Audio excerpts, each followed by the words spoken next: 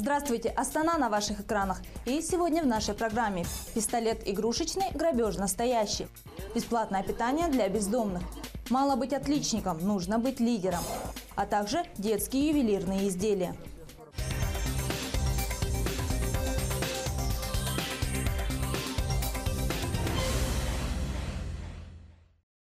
Ограбить магазин с игрушечным пистолетом решил один из гостей столицы. Сотрудники сельского РУВД задержали уроженца Южно-Казахстанской области. Подозреваемый рано утром решил выпить, но не имея наличности на срочную покупку, стал угрожать продавцу игрушечным пистолетом и требовать бутылку пива. Установить и задержать подозреваемого удалось благодаря камере видеонаблюдения, которая зафиксировала госномер автомобиля.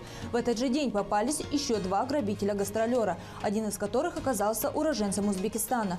Они отобрали отобрали у 20-летнего жителя столицы в подземном переходе 265 тысяч тенге. Подозреваемых задержали в течение получаса, и они уже дали признательные показания. Возбуждено уголовное дело по статье 198 – это грабеж. В настоящее время ведется расследование. Э, задержанные водворены в изолятор временного содержания а также проверяется причастность их к аналогичным таким преступлениям, которые совершены на территории Астаны.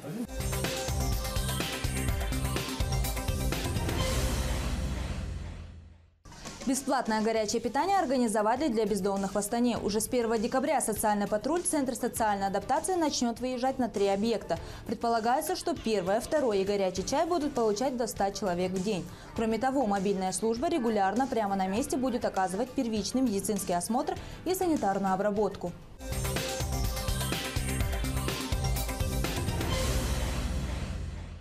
В Астане презентовали первый детский ювелирный бренд. Эти изделия казахстанского ювелирного искусства для детей и подростков. А украшения эти не только элемент декора, но и история намадов, опощенная в металле. Автора проекта на эту идею вдохновили две маленькие дочери, которые однажды тоже попросили колечки Космурен.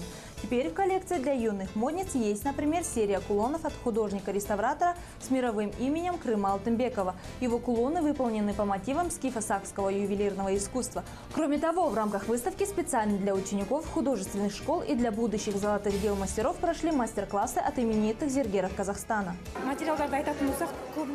Украшения выполнены из традиционных материалов, из серебра. Используются бирюза и хризолит. Вся коллекция задумана для того, чтобы рассказать о традициях наших предков детям и подросткам. И я думаю, создать для них доступные украшения – это лучший способ не только рассказать, но и полюбиться подрастающему поколению.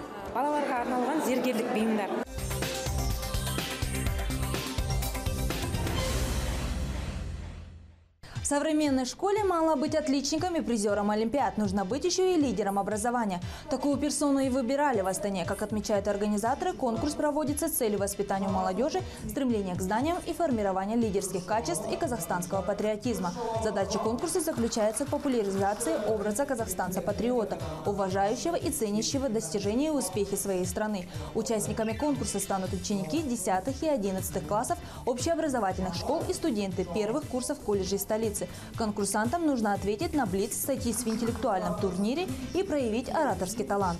Все участники будут награждены поощрительными призами, э, получат номинации, э, будут э, подарят им планшеты, а значит, лидеру учащемуся подарят ноутбук и путевку в Англию. 228 учащихся принимало участие. В первом отборочном туре проводились, проводилось тестирование, проверяли академические знания учащихся. Э, на э, финальный тур, на городской конкурс э, были отобраны 10 учеников, студентов колледжей, самые лучшие ученики